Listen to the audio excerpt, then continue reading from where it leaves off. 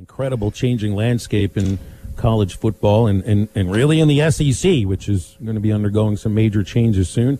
But first, Clay, I got eight photos of fish from you the other day. Yeah, and, yeah. Uh, you got a bucket list trip taken care of, man. So congratulations. Looked like it was a pretty successful trip.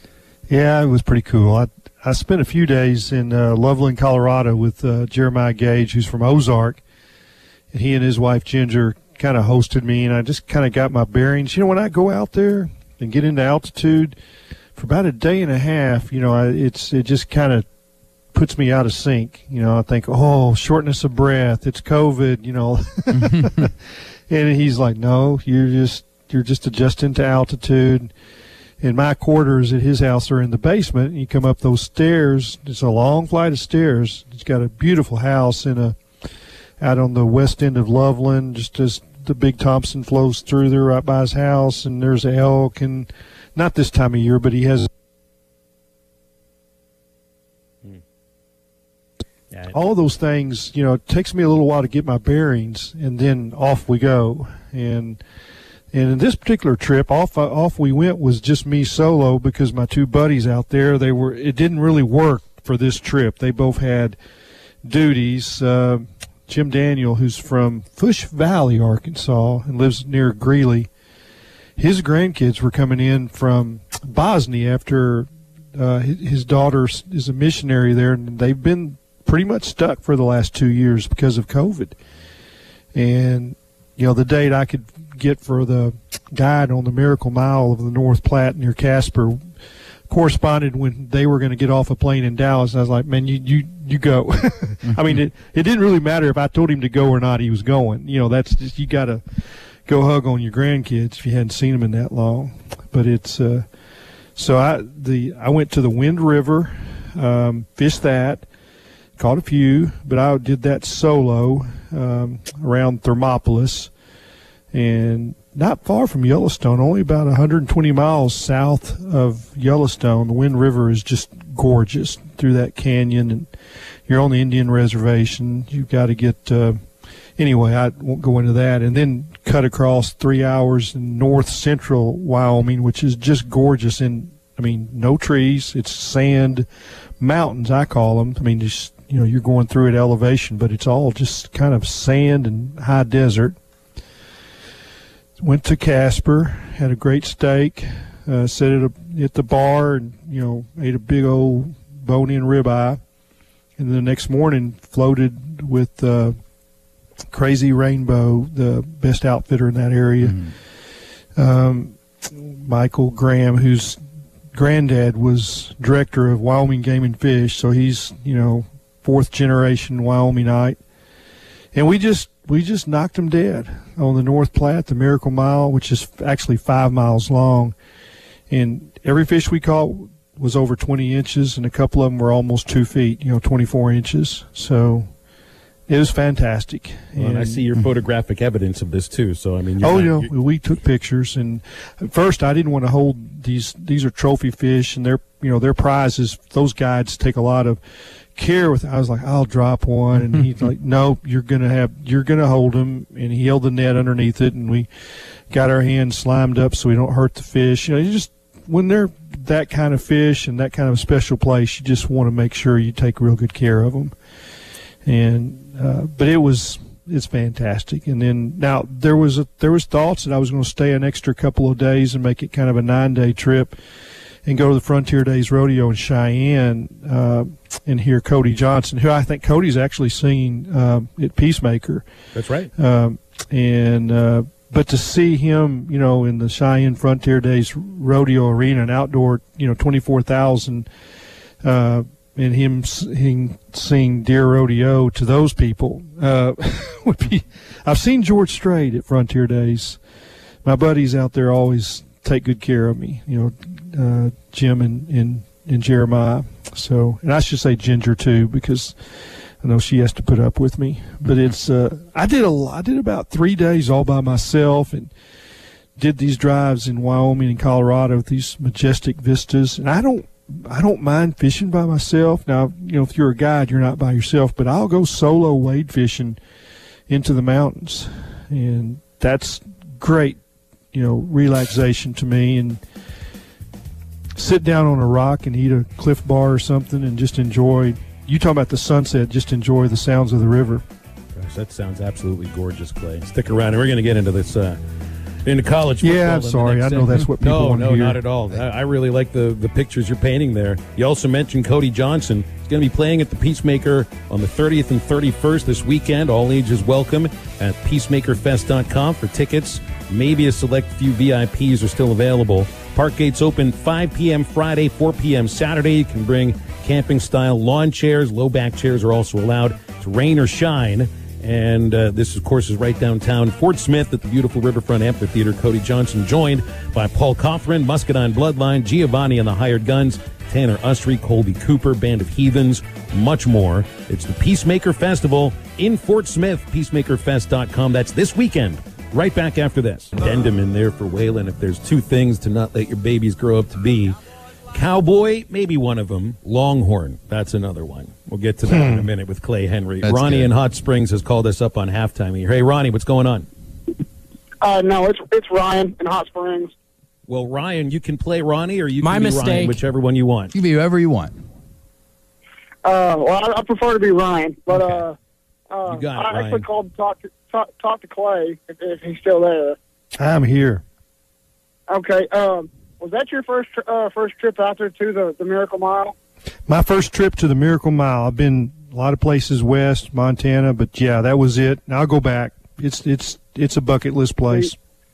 So um, it's a lot's going to have to happen for me, but uh, I'm hoping next October to go out there. I've got a buddy of mine that uh, goes out there every couple of years. He goes on a uh, antelope, uh, mostly antelope, but uh, couple every, every now and then he'll get a uh, mule deer tag. But anyway, uh, I'm hoping to be able to go out there on that hunt next year, and that's kind of on the uh, bucket list. If we can get our tags filled quickly enough, we're going to try to to fish the Miracle Mile. And uh, I just uh, was hoping if you had a little more time, if uh, tell him more about it. And uh, a couple of years ago, he did catch a uh, really big brown. I want to say it was a four or five pounder that uh, that he caught out there on the Miracle Mile. And uh, he had, a couple of years ago, he was telling me that uh, he had uh, had had an eight pounder on that uh, got off out of the bank.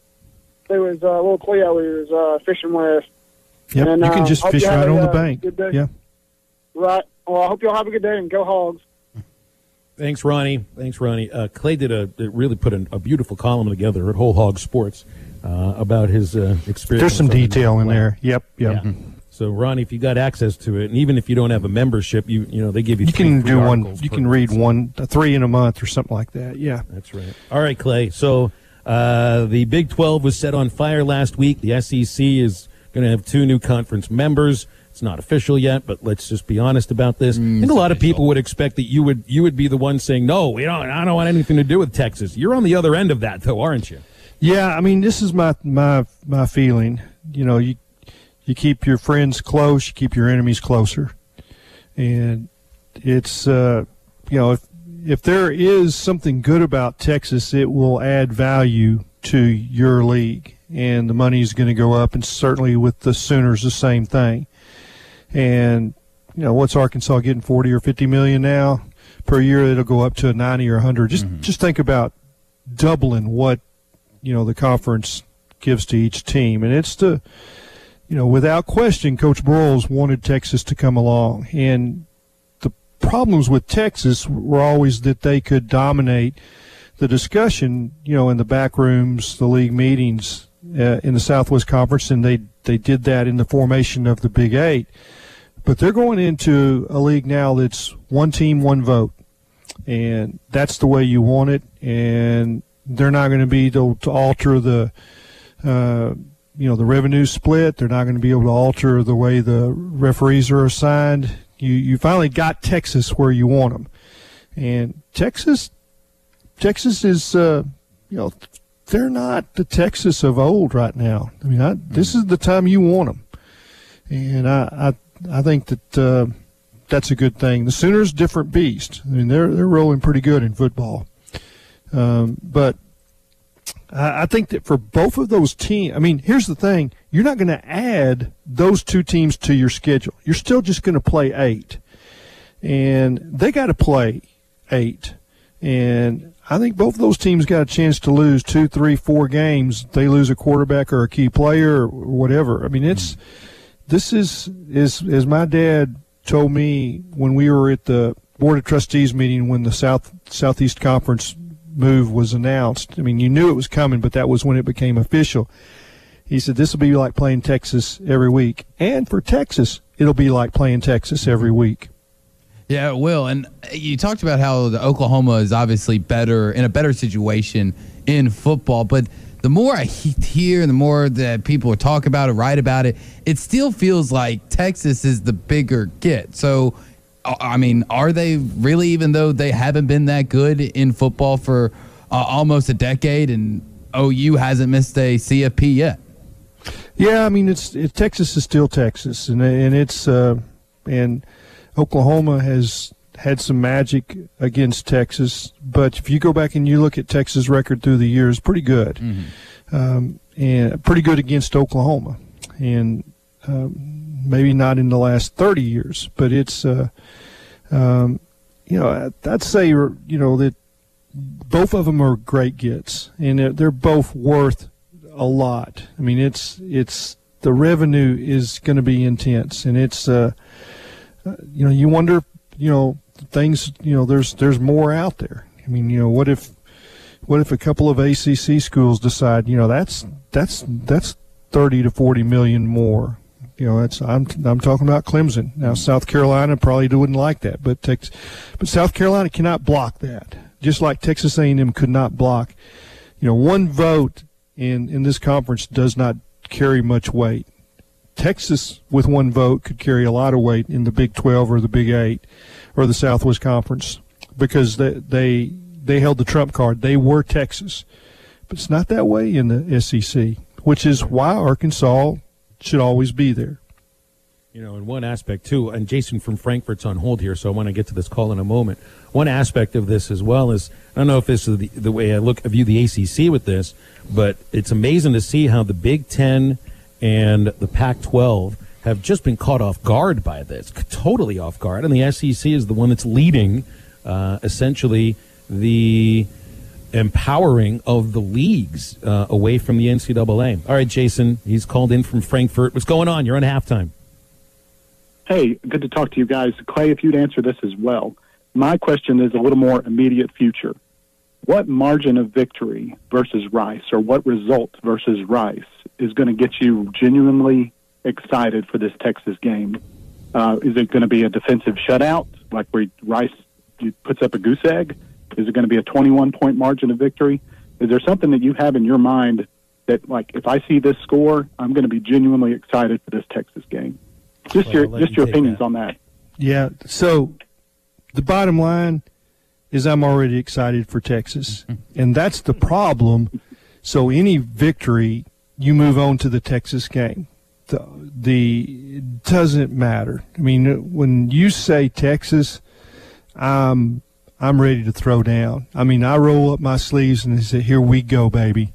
And I, I, I don't. I mean, you just get by that first game, and anything can happen in the first game. And when you say excited, that I'm the wrong guy to ask that. Maybe you guys can can uh, can handle that because, you know, I kind of just I'm at an even keel until uh, you know, wins, losses, whatever, they, they don't destroy me. I, I guess I'm probably at 67. I'm I'm past that.